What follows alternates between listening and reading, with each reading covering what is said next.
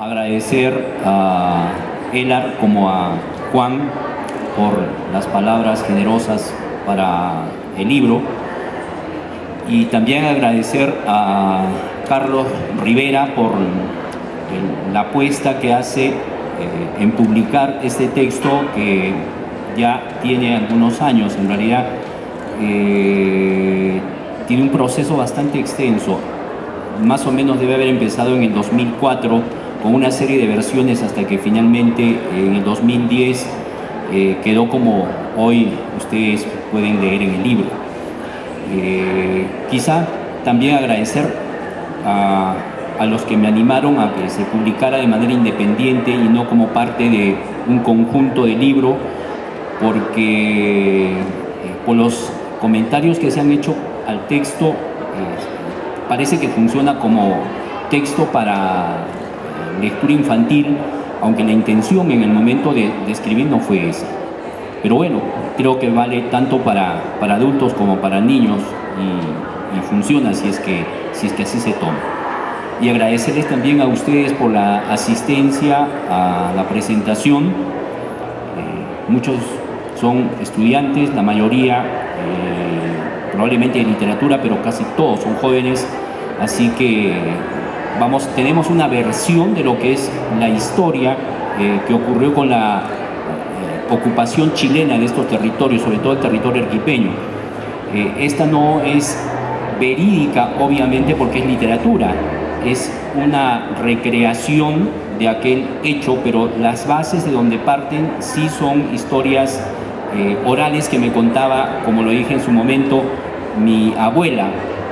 Mi bisabuela vivió es del Valle de Vítor, eh, vivió la invasión chilena en carne propia, debe haber tenido 19, 20 años aproximadamente, de manera que ella sufrió lo que significó eh, la presencia de un país que llegaba con todas las ínfulas de haber, de, haber vencido de alguna manera la guerra.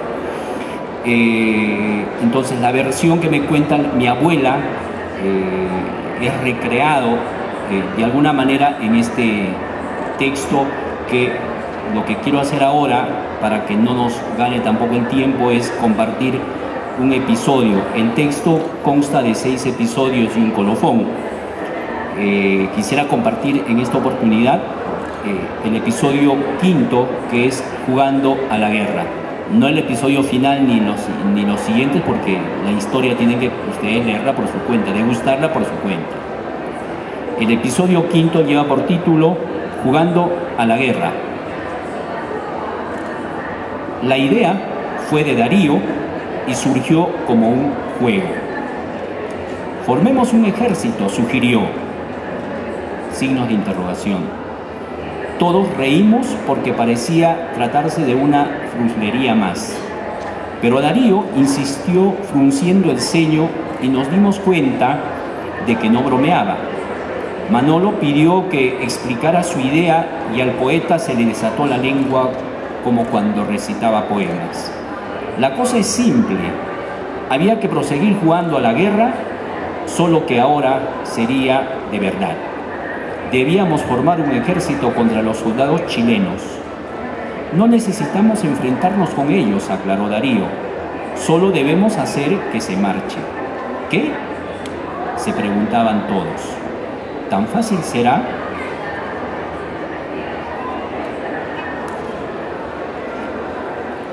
¿Y cómo lo logramos? preguntaba Aníbal.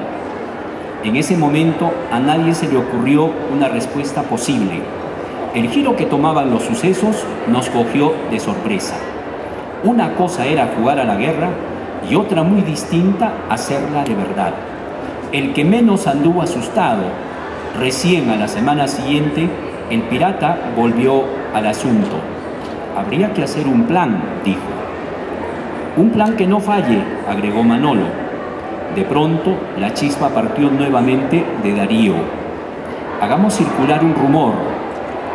Todos los ojos se volvieron a clavar en él. Haciendo un esfuerzo por mantenerse sereno, Darío explicó lo que tenía tramado. Solo debemos reforzar el rumor que una tropa peruana viene al valle y que parezca verdad.